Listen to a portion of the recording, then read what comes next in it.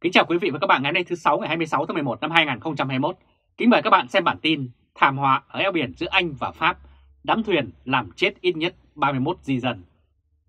Vào tối thứ Tư ngày 24 tháng 11 năm 2021, theo giờ Pháp, Tổng thống Pháp Macron đã phát biểu xúc động nói nước ông không cho phép eo biển Manche là biến thành nghĩa địa. Sự việc xảy ra trong ngày khi một thuyền di dân muốn bơi sang Anh bị lật ngoài khơi Calais, làm ít nhất 31 người đã bị chết đuối. Nhà chức trách Pháp tin rằng con số này có thể tăng vì con thuyền chở tới 50 người. Bộ trưởng Nội vụ Pháp Danin có nói tại Đà Lan rằng có 5 phụ nữ và một bé gái trong số người chết đuối, theo hãng thông tấn Reuters chia sẻ. Ông cũng xác nhận là có hai người từ con thuyền bị lật được cứu sống khi ngư dân Pháp thấy họ trôi nổi trên biển ngoài khơi Calais. Đây là hình ảnh một chiếc thuyền chở thi thể của những người di cư trong đêm ngày 24 tháng 11. Thủ tướng Anh Boris Johnson đã chủ trì cuộc họp an ninh của chính phủ tối ngày 24 tháng 11 để bàn về vụ lật thuyền này. Bộ trưởng Nội vụ Anh bà Priti phát biểu trên tweet bày tỏ lòng thương cảm với những nạn nhân và gia quyến của họ. Đến tối cùng ngày, các nhóm cứu trợ Pháp vẫn tiếp tục vớt lên những xác người di dân bị lật thuyền ngoài khơi Calais, bao gồm cả phụ nữ và trẻ em, trong ngày vượt biên đen tối nhất của các nhóm muốn vào Anh trái phép từ nước này. Chỉ đầu từ đầu năm 2021, con số người đổ bộ bằng thuyền phao thô sơ từ Pháp, Bỉ vào Anh lên tới 25.700 người, và đây là con số đã sang thành công và được cho vào trại tạm cư. Số người sang mà không ai biết hoặc bị tai nạn không tới Anh có thể thêm vào tổng số đó nói trên. Làn sóng người bất chấp nguy hiểm tìm đến nước Anh chứ không chịu xin tị nạn tại Pháp hoặc các nước châu Âu khác đang tạo ra cuộc khủng hoảng ngoại giao giữa Anh và Pháp. Cùng ngày 24 tháng 11, Tổng thống Pháp yêu cầu mở một cuộc họp khẩn cấp của các bộ trưởng châu Âu để bàn về thách thức của hiện tượng di dân. Đa số người tìm vào Anh đến từ Trung Đông, Nam Á nhưng cũng có những người đến từ châu Phi và một số báo Anh nói có người đến từ Việt Nam. Nữ Bộ trưởng Nội vụ Anh cũng lên án những băng đảng buôn người đã gây ra tai nạn kinh hoàng ở trên. Pháp cũng cho hay họ đã bắt 4 nhân vật tại Bỉ bị cho là thủ phạm của vụ tổ chức vượt biên bằng chiếc thuyền này. Thế nhưng con số thuyền chỉ trong ngày thứ tư tìm cách vượt biên sang Anh từ Pháp là 25 chiếc. Theo đài BBC News, tường thuật từ Pháp cho thấy việc đi thuyền sang rất phổ biến và công khai. Đây là hình ảnh những người di dân được đưa vào bến cảng Dover trên thuyền cứu hộ của lực lượng biên phòng Vương quốc Anh sau khi băng qua kênh này vào hồi tuần trước. Trong những tháng này có rất nhiều số thuyền nhân lên tới hơn 1.000. Anh phê phán Pháp đã không làm đủ để chặn người di cư cứ điềm nhiên ra bến khuân vác thuyền và ra khơi để bơi sang Anh bất kể sóng to, gió lớn. Đáp trả Pháp cho rằng luật lao động ở Anh quá dễ dãi cho người không có giấy tờ làm việc điều không đúng thực tế vì người xin tị nạn không được làm việc, nên Anh trở thành nam châm hút người nhập cư lậu vào đây. Các hội đoàn từ thiện thì chỉ ra rằng chính trị gia Anh và Pháp đều không có ý chí và trách nhiệm giải quyết rốt ráo vấn đề rất khó khăn này. Gần đây, Pháp đã cho giải tán các trại tự phát ở vùng Calais, một khu vực như vậy phình to sau nhiều năm có hàng ngàn người tá túc từng bị gỡ năm 2016 và trong này có rất nhiều người Việt Nam. Cũng theo đài BBC News, Brexit cũng là một lý do nữa khiến Anh không thể trục xuất những người bị bác đơn xin tị nạn về nước hay trở lại điểm đến đầu tiên của họ tại châu Âu. Tại sau Brexit, Anh không còn hiệp định trục xuất như vậy với Pháp và các nước châu Âu khiến trong nhiều năm qua, trong số hơn 20.000 người tới Anh, chỉ trục xuất trở lại được đúng có 5 người. Lãnh đạo phe đối lập Anh Sir Keir thủ lĩnh Đảng Lao động đã lên tiếng phê phán cả hai chính phủ Anh và Pháp sau vụ lật thuyền và yêu cầu họ phối hợp giải quyết cuộc khủng hoảng này. Eo biển English Channel mà Pháp gọi là La Manche là một trong những tuyến hàng hải đông đúc nhất thế giới và các tàu hàng, tàu khách cỡ lớn có thể gây sóng to, lật dễ dàng thuyền phao của dĩ dân. Đây là hình ảnh nhóm cứu hộ đang tìm kiếm ngoài khơi eo biển Manche. Trong vài tuần qua đã có ít nhất 10 vụ tử vong đếm được trên tuyến đường biển ngắn nối giữa Pháp và Anh mà đoạn hẹp nhất chỉ có gần 30 km. Di dân, nhiều người Việt cũng sẵn sàng đổi mạng sống để được vào Anh. Người Việt di cư sang Anh rất nhiều, và phần lớn người Việt Nam ở miền Bắc, nước Anh là những người miền Trung từ Nghệ An, Hà Tĩnh, Quảng Trị, Thanh Hóa. Họ sang Anh chủ yếu làm trong các salon móng tay, làm đầu bếp, nấu ăn trong các nhà hàng và làm phục vụ bản. Một số khác thì làm nghề phạm pháp như trồng thuê cần sa cho người khác. Trả lời phỏng vấn của đài BBC News tiếng Việt từ studio tại London vào hôm 11 tháng 11, nhà văn người Anh gốc Việt Hương Kenley cho biết bà từng viết về người di dân nên bà rất hiểu họ cũng như lý do người Việt Nam sang Anh. Lý do người Việt di cư tới Anh quốc là gì? Câu hỏi được đặt ra. Lý do thứ nhất, theo nhà văn Hương Kelly, hiện sống tại Cambria, miền Tây Bắc nước Anh là chênh lệch tiền thu nhập kiếm được của Anh Quốc so với Việt Nam. Đây là hình ảnh 39 cái chết bi thảm của di dân người Việt trong chiếc xe container đông lạnh tại hạt Essex, đông bắc thủ đô London, nước Anh vào hồi tháng 10 năm 2019, khiến cả thế giới kinh hoàng. Người miền Trung, ta rất là đoàn kết, họ sang đây họ làm móng tay, làm đầu bếp, nấu ăn, làm phục vụ bàn, phục vụ trong khách sạn thì họ kém được hơn mức nông dân kiếm được tại Việt Nam. Thế cho nên họ sang và sau đó lại rủ nhau Họ gọi điện về Việt Nam rủ anh em, cháu họ hàng sang để cùng làm, cùng hy vọng kiếm thêm. Thứ hai là mất đất, mất việc làm, buộc họ phải ra đi. Nữ nhà văn đã chia sẻ với đài BBC như vậy. Một số người thì tôi nói chuyện thì họ tâm sự như thế này. Họ bảo rằng cũng không định đi nước ngoài mà là huyện của tôi tịch thu đất để làm nông trại nuôi bò. Nhà tôi có 9 xào ruộng, cậu tôi có 7 xào, được đền bù là 50 triệu đồng Việt Nam thì 50 triệu đồng Việt Nam ăn hết từ lâu rồi, nhưng mà trại đấy cũng không nuôi bò hay nuôi lợn gì cả, để thuê chúng tôi làm như cam kết, mà là phân lô bán nền đất. Mấy mẫu ruộng nhà chúng tôi đền bù có 50 triệu, mà sau này phân lô bán nền cho, cho, cho chúng tôi là 150 mét, bán đất lại thành 400 đến 500 triệu đồng mỗi suất, thì cũng chẳng có tiền mà mua để lại xây nhà. Thành ra đất nông nghiệp của bà con thu hết để làm dự án nọ, dự án kia nên bà con không có nghề nghiệp nên bà con bỏ ra đi. Vào hồi năm 2017, một công dân Anh đi từ Pháp về bà Cathy Pitt bị xử tù khi Cục Biên phòng phát hiện trên xe của bà có 12 người nhập cư người Việt Nam trốn giữa các lốp xe hồi năm 2017. Một công dân Anh đi từ Pháp về, bà Cathy đã trở thành tội phạm như thế khi chở công dân Việt Nam. Ngoài ra, di cư vì mục đích tôn giáo và thiếu đào tạo nghề cho người trẻ cũng là nguyên nhân chính khiến người Việt Nam phải ra đi. Như là từ năm 54 thì miền Bắc di cư vào Nam, bây giờ thì lý do tôn giáo chẳng hạn, như đất nước ta là đất nước xã hội chủ nghĩa mà người dân lại theo đạo Phật nhiều hơn, thì người dân theo đạo Thiên Chúa họ cảm thấy lạc lõng thì họ đi về đất nước đa số là người theo đạo Thiên Chúa, nhà văn Kelly đã nói như vậy. Đây là hình ảnh hai người Việt Nam bị bắt vì tổ chức trồng cần sa được xét xử ở Anh vào hồi năm 2019. Phần lớn bà con sang đây tôi thấy họ đều thuộc gia đình nông dân cả. Toàn là trình độ văn hóa lớp 5, 6, 7, 8, 9 và đều là rất trẻ, hầu như dưới 30 tuổi. Không phải ai là thanh niên cũng đi học đại học được cả, thế nên không có trường dạy nghề là chết rồi. Họ không có nghề, không có hướng nghiệp thì họ đành phải nghĩ là phải đi thôi, nữ nhà văn nói thêm. Và sẵn sàng đánh đổi mạng sống để ra đi cũng là một lý do mà người Việt Nam đang nhắm tới. Theo nhà văn Hương Kelly, con đường người Việt sang Anh phải đi qua rất nhiều nước trước khi họ được đưa đến Anh Quốc và có cả những nguy hiểm luôn rình rập trong suốt hành trình đó. Họ vượt biên theo kiểu là đi sang Nga rồi đi bộ trong bão tuyết từ Nga sang Ba Lan, rồi từ Ba Lan sang Pháp, rồi lại đi chui sang Anh rất là nguy hiểm. Họ sẵn sàng đánh đổi mạng sống để bởi vì không đằng nào ở Việt Nam cũng chết đói và nếu họ ốm họ cũng không chữa được bệnh thì sao thì họ vẫn chết. Đấy là họ nghĩ như thế, chứ không phải tôi nghĩ, bà nói.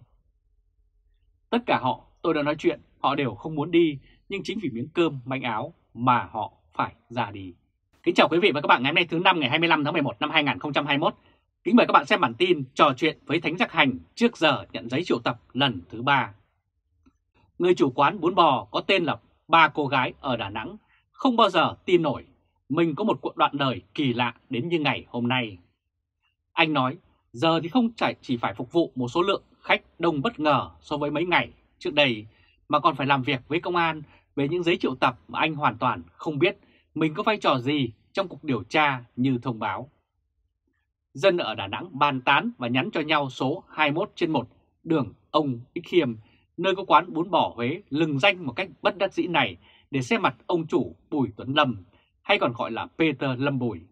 Cách gọi của bạn bè anh như vậy. Đây là hình ảnh ông chủ Bùi Tuấn Lâm bên quán bún bò ba cô gái ở Đà Nẵng và chương trình thiện nguyện bữa ăn không đồng phục vụ người nghèo. Nói với tờ báo Sài Gòn Nhỏ, anh Lâm nói sau một vài ngày khi câu chuyện của anh lan rộng trên mạng, khách đến ăn tăng đột nhiên bất ngờ. Ngày thường thì đến trưa mới hết hàng, rồi tôi cùng gia đình dọn dẹp. Nhưng vài ngày sau sự kiện rắc hành của tôi, khách đến rất đông. Mọi người rất thân thiện và chào tôi như quen từ trước. Có những người lại vỗ vai tôi nói cố lên. Có người nói sẽ luôn ủng hộ tôi với tình trạng hiện nay. Bối rối hơn lại có những người đến xin chụp ảnh chung và nói rất vui được biết mình làm cho mình bối rối lắm. Anh Bùi đã cười và nói như vậy. Anh Lâm được những người hài hước trên trang mạng Facebook gọi là Thánh Giác Hành, do anh có lối phục vụ thực khách vui nhộn. Qua việc nhại lại động tác của tay đầu bếp nổi tiếng người Thổ Nhĩ Kỳ Nukres Koker khi rắc muối lên món thịt bò đắt tiền mà cả thế giới đều biết đến ông Tô Lâm, Bộ trưởng Bộ Công an Việt Nam, đã chi cho bữa tiệc đến hơn 1.000 đô la để ăn một món bò. Anh Lâm Giác hành như một động tác cuối cùng để mang tô bún đến thực khách và chúc ăn ngon. Anh Lâm không chỉ là một lần mà nhiều lần như vậy trong ngày, bao gồm cả khi anh gửi tặng những phần ăn miễn phí cho người nghèo tìm đến anh. Quán bún bò Huế ba cô gái được biết mỗi ngày đều tặng cho những người nghèo, người già trong vùng quá bước trong chương trình của dình anh tạo ra gọi là chủ nhật yêu thương. Có những ngày khó khăn, tôi gửi đến 50-70 phần nhưng vẫn không xuể, anh Lâm kể. Quán của Thánh Giác Hành bán buôn như vậy thì không thể nào làm giàu, nhưng gia đình anh Lâm vui với điều đó. Vợ anh, chị Thanh Lâm và ba đứa con gái nhỏ đều tự hào và vui với những gì gia đình mình sống và cho đi như vậy. Họ giàu có theo một cách khác. Trước năm 2021, anh Lâm mở quán gà rán đệ độ Nhật. Thế nhưng dịch bệnh bùng phát sau một thời gian dài quay lại, anh Lâm lại khai trương món bún bò Huế và câu chuyện của anh lại trôi nổi theo chuyện khác, đó là thánh rắc muối Nucleus Coker, biệt danh là Giết Bề. Đây là hình ảnh hàng loạt trang báo quốc tế đăng video và hình ảnh về thánh giác hành Peter Lâm Bùi bị triệu tập sau khi làm video nhại thánh rắc muối với bữa tiệc đắt đỏ của ông Bộ trưởng Bộ Công an Tô Lâm tại London. Vào ngày 5 tháng 11, một đoạn video được tung ra mà theo đó giới thạo tin cho biết đó là các vị lãnh đạo cấp cao của Công an Việt Nam đến thưởng thức món bò đắt đỏ thuộc hàng đầu thế giới được giặt vàng. Tờ báo Daily Mail thì giật tít như sau. Quan chức Cộng sản Việt Nam bị bắt quả tang được đút thịt bò rát vàng với giá 1.450 bảng ở quán ZB tại London. Gần như khắp thế giới đều đưa tin dư luận trên mạng của Việt Nam rộn ràng từ những bài phân tích một phía nói rằng đó là video cắt ghép của thế lực thù địch với nhà nước Việt Nam và với bản thân ông Tô Lâm, Bộ trưởng Bộ Công an, nhân vật chính trong video. Thế nhưng tiếc là khoảng 1.000 tờ báo truyền hình của nhà nước lại hoàn toàn im lặng, không nói gì, khiến dư luận lại càng nhiều hơn với đủ các loại bình luận khác nhau. Năm ngày sau khi anh Lâm giới thiệu video rắc hành của mình với mục đích vui nhộn và giúp tăng thêm khách đến ăn, anh nhận được giấy triệu tập lên làm việc với công an. Trên trang Facebook của mình, anh Lâm cùng vợ có ghi lại cảnh trao đổi với hai người công an mà về sau sự căng thẳng ngày càng tăng. Anh Lâm chỉ yêu cầu là giấy triệu tập cần có đủ nội dung rõ ràng để anh biết anh là kẻ tình nghi phạm tội hay là đến với tư cách nhân chứng giúp đỡ thêm cho một cuộc điều tra. Thế nhưng công an đã từ chối, nói là họ không thể tiết lộ bí mật của công việc. Cơ quan công an cần phải nói rõ là tôi đang bị triệu tập cụ thể về việc gì, việc triệu tập một công dân mà chỉ nói chung chung là phục vụ công tác điều tra thì không thể được. Đây là hình ảnh ông Bùi Tuấn Lâm ngồi bía bên phải được hai sĩ quan công an đến tận nhà buộc phải ký vào giấy triệu tập sau khi làm video bắt trước thánh rắc muối giết về đút miếng thịt bò rất vàng cho Bộ trưởng Bộ Công an Tô Lâm ăn. Tôi không chống đối gì hết, nhưng một cơ quan pháp luật cần thể hiện việc thượng tôn pháp luật, anh Lâm nói. Tôi cũng tham khảo nhiều luật sư của bạn bè, tất cả mọi người đều nói rằng công an làm chưa đúng. Luật sư dặn việc đòi hỏi là đúng quyền của mình trong luật pháp quy định, còn phần họ có bắt chấp hay không thì mình không thể đoán được. Trên thực tế, anh Lâm biết bản video giác hành của anh bùng lên ngẫu nhiên trong lúc này chỉ khiến công an khó chịu thêm về cách từ chối lệnh triệu tập của anh. Chứ thật ra, chuyện còn nhiều nguyên nhân được đồn đoán khác nhau. Rất nhiều người biết đến cái tên Peter Lâm Bùi vào giai đoạn đầu những năm 2010-2015 trong các phong trào phản đối Trung Quốc, xâm lược và giết hại ngư dân Việt Nam. Đặc biệt vào năm 2014, khi Bắc Kinh đặt giàn khoan Hải Dương 981 trên Biển Đông, lấn vào vùng đặc quyền kinh tế của Việt Nam, Peter Lâm Bùi là một cái tên xuất hiện trên nhiều tin tức về người yêu nước Việt Nam xuống đường kêu gọi bảo vệ chủ quyền đất nước. Sau đó, anh Lâm lập gia đình và chuyển sang hoạt động làm từ thiện. Tin cho hay, một trong những nhánh điều tra từ Công an Hà Nội về chị Nguyễn Thúy Hạnh là muốn tìm hiểu về Peter Lâm Bùi, xem có phải là anh từng nhận chuyển tiền giúp cho ai từ quỹ 50k của chị Nguyễn Thúy Hạnh hay không. Đây là hình ảnh bà Nguyễn Thúy Hạnh, người sáng lập quỹ 50k để ủng hộ các tù nhân lương tâm Việt Nam. Hiện bà Hạnh đang bị chính quyền Việt Nam giam giữ với cáo buộc tuyên truyền chống nhà nước Việt Nam. Chị Hạnh, người sáng lập ra quỹ 50k và là người vận động phúng điếu cho cụ Lê Đình Kình, người đã bị sát hại ở làng Đồng Tâm về một vụ tranh chấp đất đài. Chị Hạnh vẫn bị giam giữ để điều tra ở Hà Nội từ đầu tháng 4 năm 2021 mà theo ngôn luận nhà nước từng phát đi trên truyền hình là chị Nguyễn Thị Hạnh tài trợ cho khủng bố. Với tôi, chị Nguyễn Thị Hạnh là một người đáng kính trọng. Những việc làm của chị ấy không có gì sai cả. Và giả như lúc này tôi nhận được nguồn tiền từ quỹ của chị Hạnh để nhờ gửi giúp đỡ cho những ai khó khăn thì tôi cũng sẽ không từ chối. Việc làm đó không có gì gọi là sai với pháp luật cả, anh Peter Lâm Bùi đã nói. Theo luật pháp của Việt Nam, khi nhận được giấy triệu tập lần thứ ba thì cơ quan an ninh có quyền cưỡng chế, tức là bắt mình mang đi. Tôi cũng không rõ trong giấy triệu tập lần thứ ba này công an có ghi rõ là muốn làm việc với tôi về việc gì hay không. Tuy nhiên, một khi họ đã quyết cưỡng chế, bắt đi thì tôi không thể đòi hỏi được gì lúc đó. Anh Lâm nói. Tôi thấy mình không có gì để lo ngại và chờ đón sự việc sẽ đến. Dẫu ra sao, chỉ xin tất cả anh chị em đã biết tôi, xin hãy dành chút thời gian chia sẻ với vợ con tôi nếu tôi không còn được tự do. Anh Lâm ngừng một chút, rồi nói nhanh như vậy. Đây là hình ảnh ông Bùi Tuấn Lâm mặc áo đen của phong trào Nou đi biểu tình phản đối Tập Kinh Bình sang thăm Việt Nam. Lúc này, một số người quan tâm đến trường hợp của anh Peter Lâm Bùi có vẻ nhiều hơn mức bình thường. Quán bún của anh chỉ tạm nghỉ 2 ngày 19 và 20 tháng 11, nhưng dân mạng lập tức nhắn với nhau rằng không hiểu vì sao quán của anh lại đóng cửa. Tôi cảm thấy mệt mỏi nên tạm nghỉ 2 ngày rồi sẽ bán lại, không có gì đâu. Anh Lâm đã giải thích khi có thực khách nhắn hỏi với vẻ lo lắng.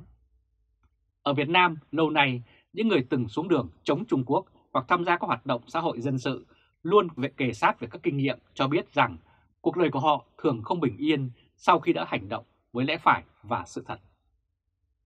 Công an địa phương thường phục lẫn không thường phục thường xuyên quấy rầy những người như vậy. Và có những người đã chọn cuộc sống im lặng để chăm sóc gia đình nhưng họ vẫn không nhận được sự đối đãi đúng mức như đối với một công dân bình thường. Việc chứng nhận giấy tờ, xin cho con đi học, thuê nhà, vân vân luôn luôn gặp trở ngại với những ánh mắt xem họ như là một thế lực thù địch.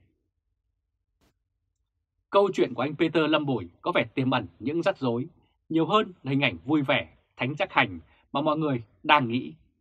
Đôi khi chọn sống đúng với pháp luật và lương tâm cũng chưa hẳn là cách tốt nhất để tồn tại ở Việt Nam, như anh Lâm cùng gia đình tin và hy vọng.